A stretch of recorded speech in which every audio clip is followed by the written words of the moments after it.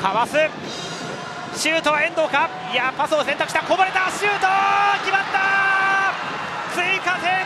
藤枝真 FC 7番の枝本！10試合ぶりのゴールになりました。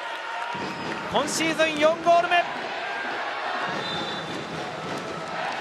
やはりこの久富。今度はかわしてグラウンダーのクロスボール。最後大島に当たったんですが。